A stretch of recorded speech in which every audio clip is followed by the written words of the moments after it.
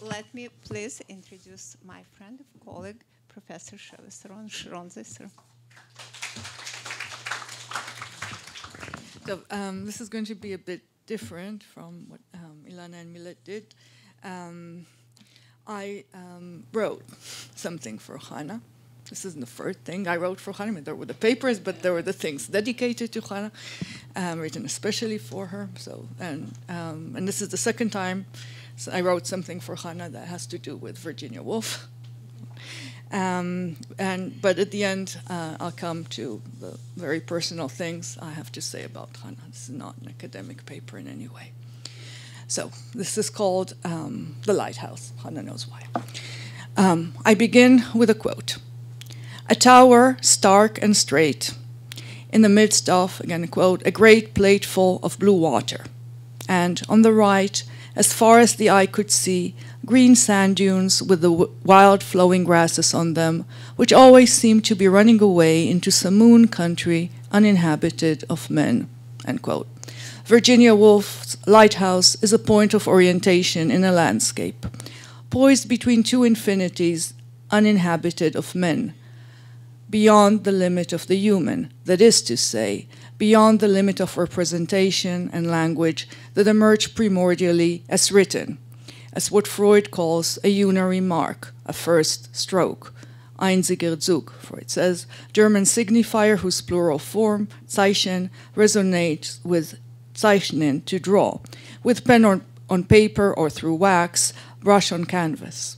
Indeed, Woolf's lighthouse as point of orientation for a writing that might bar or limit the illimited beyond the first stroke, inaugurating the act of drawing, of one substance within another that resists it, so as to produce the exploit of calligraphy, the written letter as drawn, is itself described, the lighthouse, as barred with black and white, the shades of calligraphy as bars on a white surface. Such bars or lines may, as Woolf's artist figure into the lighthouse, painter Lily Briscoe says, be, again a quote, running nervous lines. But precisely as nervous, that is to say, as written in the sand of the flesh of the nervous system and the symptom, circumscribe, or as Lily puts it, enclose a space, which is none other than the space of what in the subject functions as a defense in the face of what would otherwise be a suffering unbearable because unenclosed.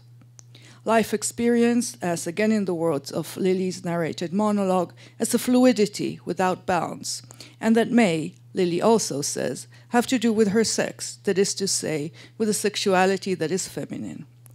Other names of the unbearable in, in Lily's narrated monologue, I learned this term from Hannah, include again a quote, a few moments of nakedness when she seemed like an unborn soul, a soul reft of body, hesitating on some windy pinnacle and exposed without protection. End quote. For Mrs. Ramsay, the words pointing to the unbearable beyond the barrier, beyond the bar, include, again a quote, the core of darkness that could go anywhere, limitless, as her horizon at those horrific moments when it surges forth. Without the lighthouse as point of orientation, a subject exposed without protection, as Lily says, may be permeated with the insupportable that manifests itself psychically, not as pain, but as subjective fog, the sense of the long stretches of time which feel like cotton wool, to which Woolf attests in a sketch of the past. But that a point of orientation, a lighthouse, exists on the horizon, Woolf's to the light to the lighthouse teaches, does not guarantee a writing that could put the bar into place. Even when, as for Mrs. Ramsay, the lighthouse punctuates the time and place of a darkness with its strokes, writes in light. Um, even then, Mrs. Ramsay says, attaching oneself to its long, steady stroke and the last of the, last of the three, which was her stroke, it brings momentary peace, but beneath it, Woolf writes, it remains all dark, all spreading, unfathom unfathomably deep.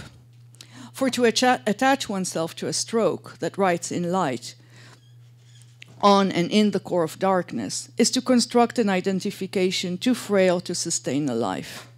It is not yet to write or paint, just as for Lily, again a quote, to set her clean canvas upon the easel is to erect what she calls a barrier, but one that she also says is to, still frail. As in her words, again a quote, there was all the difference in the world between this planning airily away from the canvas and the actually taking her brush and making the first mark. For most of Woolf's novel, the lighthouse is the destination of a journey which is not undertaken. The first mark in Lily's portrait is not made. What is described in the novel as the portrait's first stroke, precisely Freud's einziger Zug, is made only once on the level of the plot. The lighthouse ceases to be just point of orientation in the horizon when the journey towards it is under, undertaken by the Ramsays that remain. Drawing the first stroke is in effect the correlate in the psychic economy of Woolf's artist's figure of the undertaking of the journey to the lighthouse, and it involves running what is described as the risk, resonating in the artist's last name, not without the implication of the body. I quote again.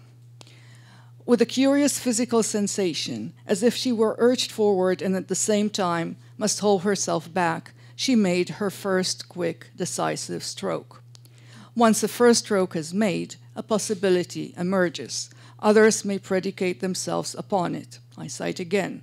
A second time she did it, a third time.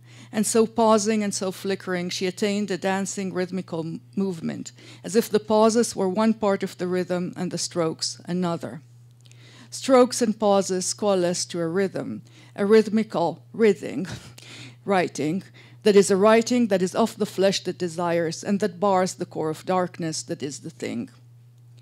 Such predication of signifiers written on and with the sand of the flesh on a unary stroke is also precisely the psychic writing, writhing, Freud describes in a project for a scientific psychology, perhaps the roadmap for what would be any future psychoanalysis.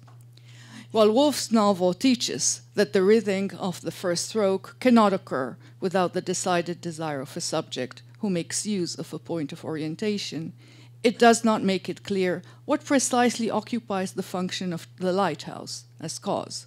What makes it possible to finally undertake the journey that is the diegetic, I learned that too from Hannah, correlate of the subjective and aesthetic trajectories of Lily's painting and of writing of the writing of the book itself, with which the act of painting coalesces in the novel's extraordinary conclusion. Psychoanalysis teaches that this place is indeed constitutively empty, for it is none other than the, than the desire that inhabits the subject. It also teaches that in order to mobilize that empty place, it is very often necessary for the subject to posit someone else there, someone to whom one supposes knowledge, that unlike dry information knowledge, has that mysterious quality of allure, glitter, light that Plato in the Symposium calls agalma, the precious object that in that dialogue Alcibiades insists is hidden in the person of Socrates. Such is Alcibiades' relation to Socrates, a paradigmatic case of the supposition of knowledge that is the kind of love capable of mobilizing desire that Freud called transference love. In the analytic cure, it is the analyst who occupies this empty place, not in absentia nor in effigy, Freud insisted, but paying with his own person so as to effect, a word we heard a lot today, transformation. In writing to the lighthouse, Woolf attests in the sketch of the past, she writes, I suppose that I did for myself what psychoanalysts do for their patients. I expressed some very long felt and deeply felt emotion. And in expressing it, I explained it and then laid it to rest. Woolf does not disclose the object of her transference, what in the novel appears as that agalmatic object, the lighthouse. For me, however, many years before my analytic formation, it was very clear that Hannah occupied that place. In fact, this is what I said, you remember at a public event that marked a pivotal moment in my career, but much more than that in my own subjective trajectory. A moment that marked my, for me, my having, in a way, found or created a place, an enclosed, enclosed space, such as Lily Briscoe speaks of into The Lighthouse, which is the place where one can write, the subjective place, space where desire can be, and the interruptions of the core of darkness are at least temporarily barred. That's and that what I think is also the space that is actually what is at stake in, in Woolf's A Room of One's Own, creating that space for herself. It was not the first time had agreed to my putting her in that place. By then, that had been the case for over a decade, if not more. And however agalmatic the lighthouse transference, I know very well by now, is far from light and is complicated to manage. Like Woolf's Lily, I take risks, often considerable. If they are not inscribed in my name as they are in hers, they are part of the title of my first book, which grew out of the dissertation I wrote under Hannah's supervision. Hannah, as she put it to me in her inimitably understated and gracious way, while we were both working on Woolf's last and dazzling novel, Between the Acts, Hannah said, after I talk, I, I, I think I gave um, the department, you wrote to me afterwards, I am not always eager to go so far. So, agreeing to undertake my transference, to support my work unconditionally and enthusiastically, as Hannah unfailingly did over decades, was a risk. Uh, was and is going far. For me, its priceless yield has been the possibility of undertaking the lifelong effort of creating a space for my writing, for my teaching, and in effect and in truth, a place for myself in life itself. If today I am able to continue this endeavor, it is because, and now is the time to affirm this, in the genealogy of this present was Hannah's agalmatic present, firm as the lighthouse for many long years, as what makes possible the holding oneself back so as, to not to, so as not to fall, as one surges forth to make the first stroke of what will have become one's vision.